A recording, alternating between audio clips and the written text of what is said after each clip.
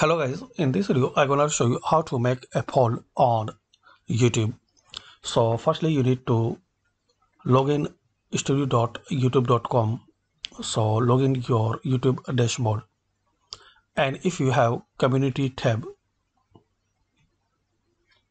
so you can create a poll and you can make a poll on youtube. So to make a poll click on create then create post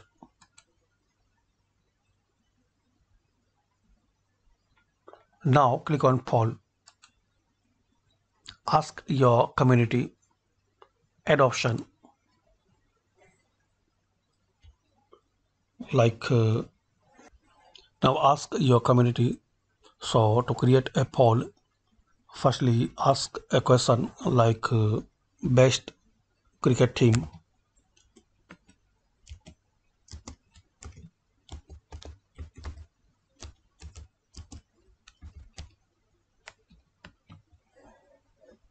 now type name.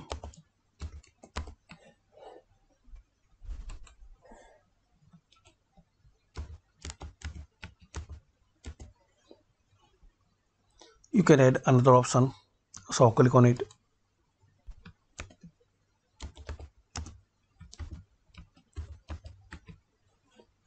Then click on post